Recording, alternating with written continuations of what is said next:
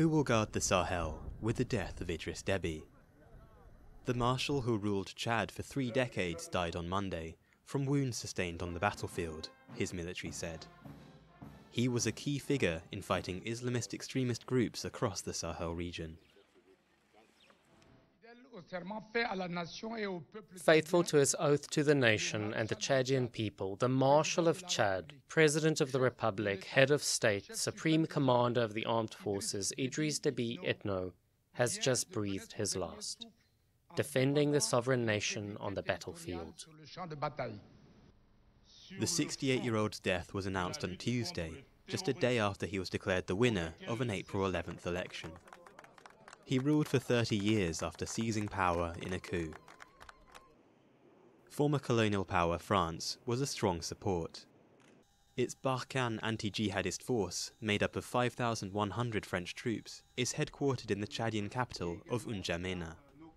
French President Emmanuel Macron and the European Union's foreign policy chief Josep Borrell attended Deby's funeral on Friday, a testimony to the importance of the alliance. La France ne laissera jamais personne ne remettre en cause.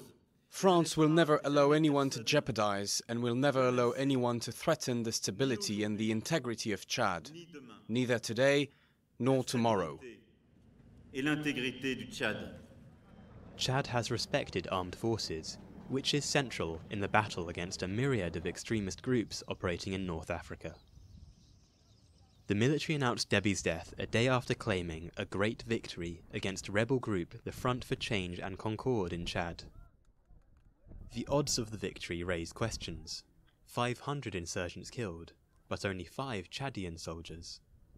Details are also sketchy on exactly how Debbie was wounded Meanwhile, allies of the late leader moved swiftly to ensure that power remained in their hands, installing his 37 year old son Mahamat as president and head of a transitional military council.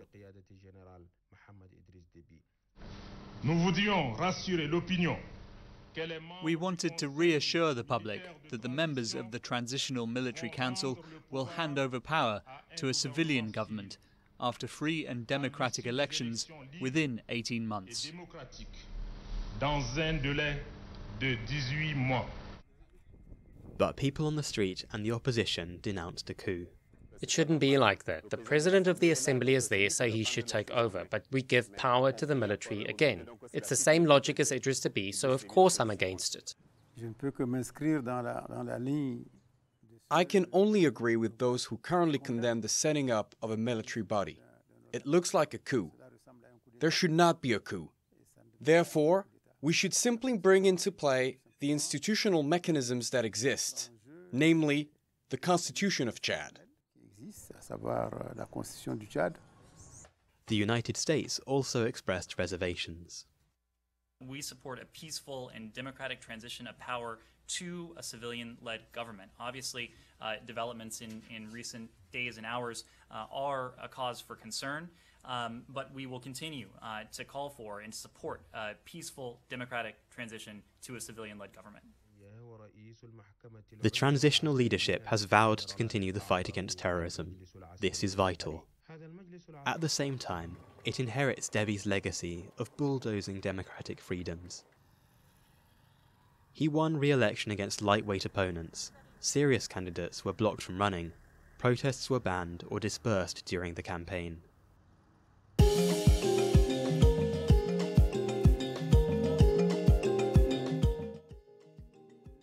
A massive loss for African history. A runaway fire on the foothills of South Africa's Table Mountain engulfed a library at the University of Cape Town this week. The Jagger Reading Room housed more than 85,000 books and 3,000 films from across the continent. As firefighters battled to contain the flames, some residents and university students were evacuated.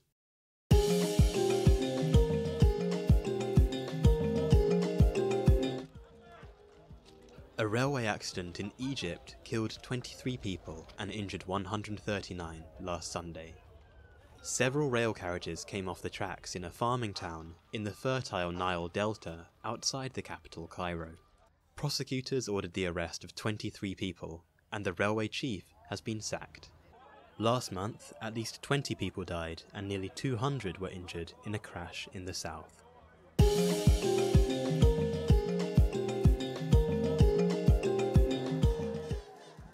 In Cape Verde, the ruling Movement for Democracy Party won parliamentary elections last Sunday, handing Prime Minister Ulisses Correia e Silva another term in office. The party won 37 out of 72 seats in the National Assembly. The tiny archipelago of 550,000 people lies off the coast of Senegal and is hailed as a bastion of democracy in Africa.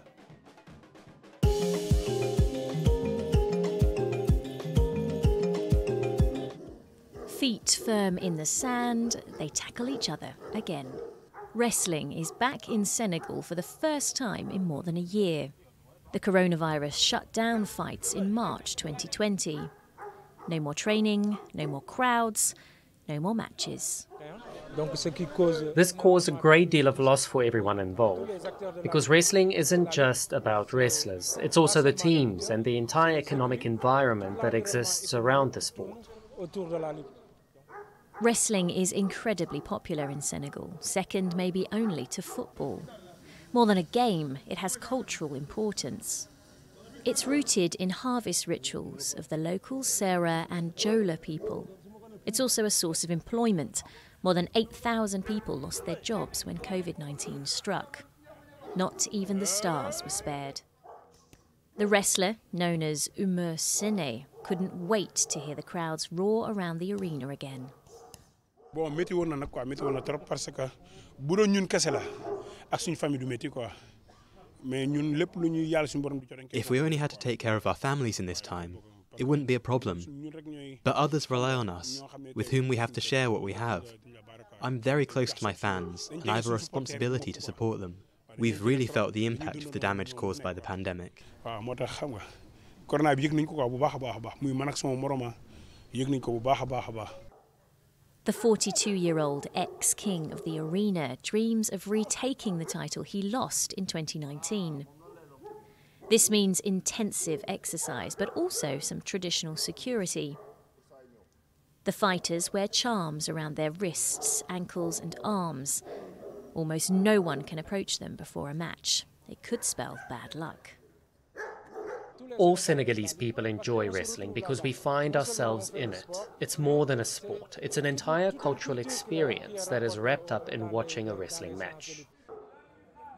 Mass protests shook the country in March, the worst unrest in years. Wrestling bosses say the return of fighting will restore Senegal's spirit.